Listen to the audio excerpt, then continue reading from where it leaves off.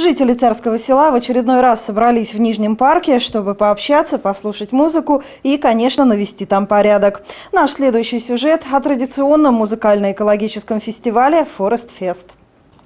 Фестиваль Forest Fest берет свое начало в 2006 году и задумывался как дружеские посиделки в сопровождении лесного концерта под открытым небом. Крестным отцом экологической части фестиваля стал известный музыкант и общественный деятель Михаил Новицкий, основатель экологического движения «Зеленая волна». В 2008 году, приехав на фестиваль, он первым, никого ни к чему не призывая, стал собирать мусор вокруг поляны фестиваля. Хорошему примеру последовали некоторые гости, и с тех пор эта традиция укоренилась укоренилась. Символизируя ее, в 2014 году музыканты выступали уже на фоне знамени «Зеленой волны». Со временем экологическая часть фестиваля стала основной для этого мероприятия, а ее значение все больше подчеркивается организаторами. Всеобщая уборка происходит теперь не только вокруг назначенной концертной площадки, но и по всему парку, с каждым годом охватывая все большую территорию и привлекая все большее количество народа. В этом году участники фестиваля даже стали приходить целыми семьями.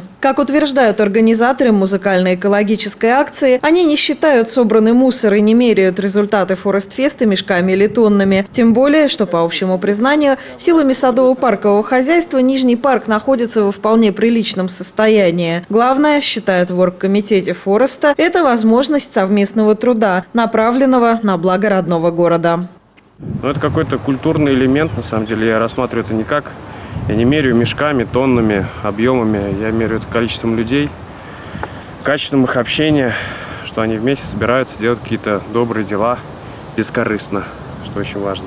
По неизменной традиции фестиваля наградой участникам уборки становится концерт, участие в котором принимают самые разные артисты. Музыкальные подарки энтузиастам в этом году дарили царскосельский музыкант Антон Штубов, который на этот раз выступил в сопровождении саксофона, фронтмен группы «Пульс неразрешения» Дмитрий Рощин, лидер электрических партизан Вадим Курылев, любимцы молодежи рок-группы «Кресси» и, конечно, Михаил Новицкий, без которого Форестфест не обходится уже давно. Хруст янтарных веток, да негромкий хор. Это наше лето, а это наш костер. Это наше лето, это наш костер.